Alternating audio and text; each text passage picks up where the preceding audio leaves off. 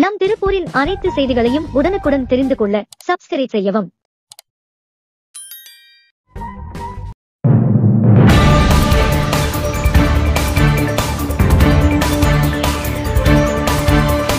திருப்பூர் காமராஜ் சாலையில் உள்ள கலைஞர் கருணாநிதி மத்திய பேருந்து நிலையம் அருகே மாநகராட்சிக்கு சொந்தமான மல்டி லெவல் பார்க்கிங் உள்ளது.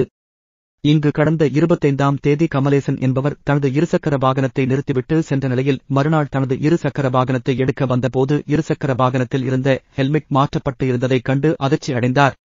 உடனடியாக இதுகுறித்து பார்க்கிங்கில் உள்ள சிசிடிவி கண்காணிப்பு கேமரா காட்சிகளை பார்த்தபோது மர்ம நபர் ஒருவர் விலை மதிப்பான ஹெல்மெட்டை திருடிவிட்டு மாற்று ஹெல்மெட்டை வைத்துச் சென்றது தெரியவந்தது. தற்போது இந்த காட்சிகள் இணையத்தில் வைரலாகி வருகிறது.